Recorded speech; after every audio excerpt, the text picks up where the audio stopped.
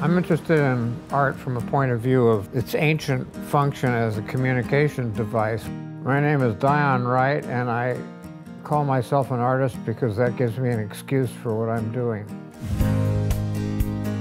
I was born in New Rochelle, New York in 1937, but when I grew up I did a lot of globe tracking and went, went from one place to another and visited different locations. We moved to California at the end of the war and have been in California ever since. Back in Laguna Beach at the same time. This has been an art colony since uh, the few people that started the place back at the turn of the last century. And uh, you could see why anybody'd like it. It's just a beautiful place. The town developed art as its theme. It's the the, the medium of cultural exchange here. And with any group of people, you form relationships. So I have a, a living memory of what California was like before anybody got here. And it's a very beautiful thing to remember.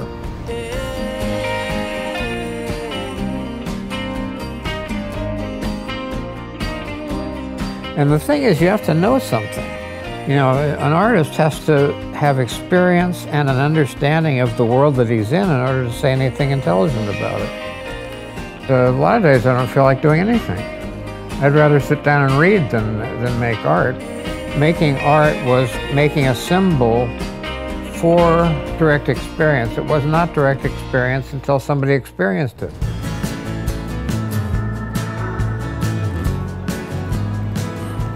I was taken more by the combination of mythology and biology and tried to uh, find meaningful stories in, in that and express them in a more or less conventional way, representational images and so on.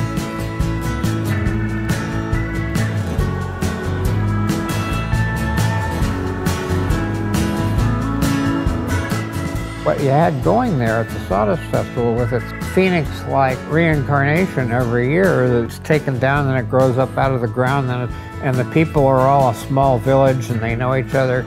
For years and years, many of them know each other for, for years and years more than they know anybody else in their lives.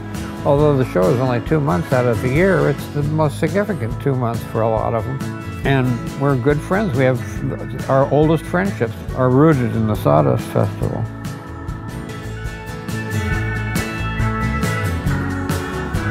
My name is Dion Wright. I am an exhibitor at the Sawdust Art Festival, and I bear my cross proudly.